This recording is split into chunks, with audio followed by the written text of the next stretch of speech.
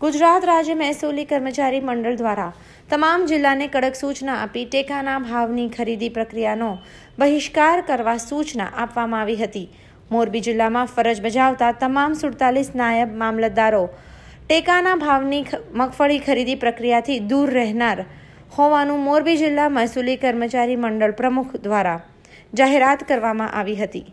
આજે સવારથી નાયબ મામલતદારો ટેકાના ભાવની મગફળી ખરીદીમાં કામગીરીનો બહિષ્કાર કરતા ટેકાના ભાવે મગફળી ખરીદી પ્રક્રિયા રોકાઈ ગઈ.